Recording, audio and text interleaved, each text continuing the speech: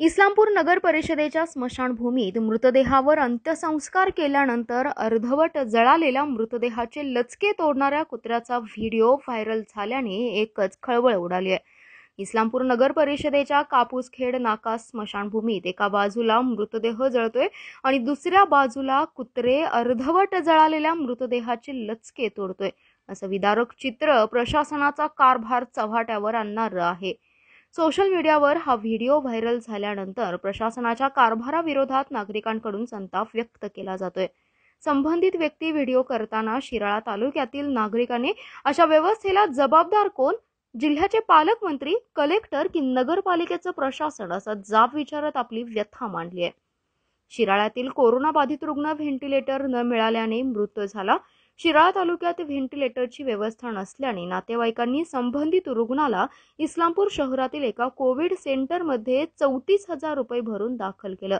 मात्र रुग्ण बरा होऊन घरी घेऊन जाण्याऐवजी मृतदेहच अंत्यसंस्कारासाठी नगरपालिकेच्या स्मशानभूमीत केला संबंधित नातेवाईक कापूस नाका परिसरातील स्मशानभूमीत गेल्यानंतर तेथील परिस्थिती पाहून हतबल झाले. त्या कोरोनाबाधित रुग्णावर पालिका कर्मचाऱ्यांनी अंत्यसंस्कार केले. मृतदेह हा अर्धवट जळालेला होता. पालिका कर्मचाऱ्यांनी त्याकडे दुर्लक्ष केलं. त्याचवेळी दुसरीकडे एक मृतदेह अंत्यसंस्कारासाठी आणण्यात आला होता. त्यावेळी तिथे त्या मृताचे नातेवाईक उपस्थित होते. त्यावेळी एक भटके कुत्र त्या अर्धवट जळालेल्या मृतदेहाचे लचके तोडत होतं. हे मन हेलावणारं विदारक चित्र पाहून एका व्यक्तीने व्हिडिओ बनवला आणि तो सोशल मीडियावर व्हायरल करून प्रशासनाचा कारभार चव्हाट्यावर आणलाय. संबंधित व्हिडिओद्वारे राजकर्त्यांना जाब विचारला आहे. इस्लामपूर नगरपालिकेची गॅस दाहिनी आहे परंतु शहर आणि परिसरातील मृत्यूचा आकडा वाढल्याने गॅस दाहिनीला काही वेळा वेटिंगसाठी थांबावं लागतं. त्यामुळे मृतदेहाचे अंत्यसंस्कार लाकडाच्या जळणानेच केले जात आहेत. परिणामी अर्धवट जळालेल्या मृतदेहांचे कुत्रे लचके तोडत आहेत. जिल्ह्यात कोरोनाची परिस्थिती अतिशय गंभीर बनली आहे. रुग्णांना बेड उपलब्ध होत नसल्याने मृत्यूंची संख्या लक्षणीय वाढली आहे. जिवंत असतानाही नरक यातना भोगाव्या लागतायत आणि मृत्यूनंतर सुद्धा अशा प्रकारे अवहेलना सुरू असल्याचं चित्र आहे. मृत्यूनंतरही होणारी अवहेलना पाहून कोरोनाची भीषणता स्पष्ट होत असली तरी प्रशासनाच्या कारभाराच्या पुरत्या चिंधड्या उडाल्याचं या व्हिडिओतून स्पष्ट होते.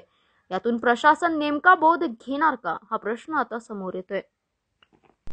सांगली जिल्ह्यामध्ये मृत्यूचं तांडव सुरू आहे. भयानक परिस्थिती आहे. लोकांना व्हेंटिलेटर ऑक्सिजनचे बेड मिळत नाहीत आणि यामुळं लोक तडफडून मरत आहेत. आणि तडफडून मेलेल्या लोकांना सुद्धा आता कुत्रे लचके तोडायला लागले लागलेले आहेत. आणि त्या प्रेतांची सुद्धा व्यवस्थित विल्हेवाट लावली जात नाही. कुत्रे मृतदेहाचे लचके कुत्रे तोडतायत अशी परिस्थिती सांगली जिल्ह्यामध्ये आहे. एकंदरीतच भयावह चित्र आहे. आणि या भयावह चित्रातून बाहेर पडायचं असेल तर सुसज्ज ऑक्सिजनयुक्त बेड निर्माण केली पाहिजेत आणि मृतदेहांची विल्हेवाट लावण्याची व्यवस्था योग्य पद्धतीने केली तरच हे सांगलीतलं मृत्यूचं तांडव थांबेल. नाहीतर मृतदेहांची विटंबना प्रेतांची विटंबना रुग्णांची अवहेलना हे चित्र बदलण्यासाठी जिल्हा प्रशासन आणि पालकमंत्र्यांनी कंबर कसण्याची आवश्यकता आहे.